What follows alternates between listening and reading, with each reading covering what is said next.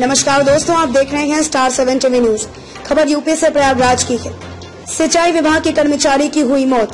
हंडिया थाना क्षेत्र के अंतर्गत आने वाले बासुपुर चौराहे के पास हंडिया पॉलिटेक्निक के सामने नाले में गिरने से एक सिंचाई कर्मचारी की मौत हो गई।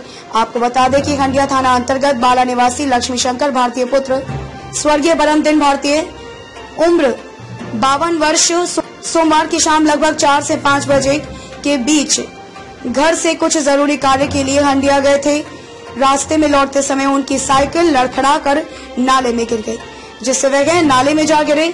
सर में चोट लगने व पानी में डूबे रहने की वजह से उनकी मृत्यु हो गई।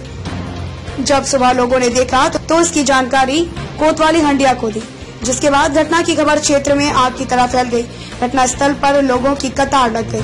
स्थानीय लोगों ने बताया कि मृतक लक्ष्मी शंकर भारतीय सिंचाई विभाग में ट्यूबवेल ऑपरेटर के पद पर कार्यरत था। घटना की जानकारी मिलते ही परिवार में कोहरा मच गया।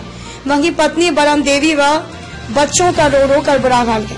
मृतक के पाँच बेटे और पाँच बेटियाँ हैं, जिनमें से बड़ा बेटा इंद्रेश कुमार पुलिस विभाग में सिपाही के पद पर बनारस में तैनात है। वहीं पर हंडिया कोतवाली पुलिस मौके पर पहुंचकर अग्रिम कार्रवाई करते हुए शव को अपने कब्जे में लेकर पोस्टमार्टम के लिए भेज दिया गया।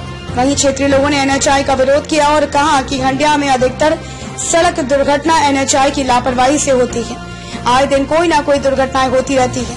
एनएचआई की लापरवाही इतनी ज़्यादा है कि ना तो नालों पर ढक्कन लगाए गए हैं और ना ही सड़क के गड्ढे की मरम्मत की जा रही है और ना ही सड़क की चिरोरियों को साफ़ किया जा रहा है।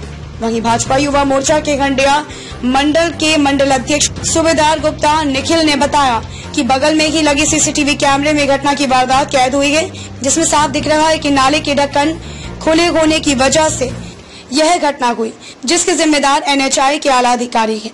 स्टार सेवन टीवी न्यूज़ की कवरेज सर्वेश सिंह के साथ विजेंद्र की रिपोर्ट।